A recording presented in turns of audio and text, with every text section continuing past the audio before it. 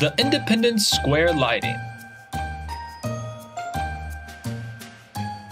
Hosted by Independence Square Association. Sponsored by the City of Independence. Enjoy lights, singing, and dancing. It all starts at 6 p.m.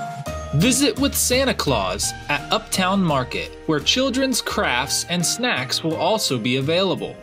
Mule drawn rides available around the square. Over one mile of holiday lights. Happening Friday, November 18th.